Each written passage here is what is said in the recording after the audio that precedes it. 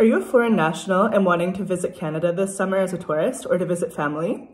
This is your sign to apply for a visa.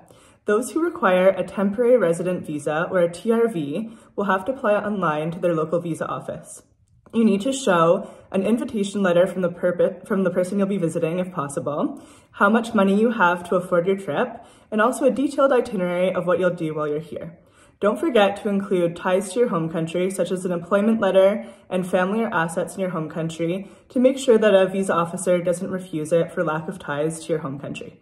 That's all for now and safe traveling for the summer.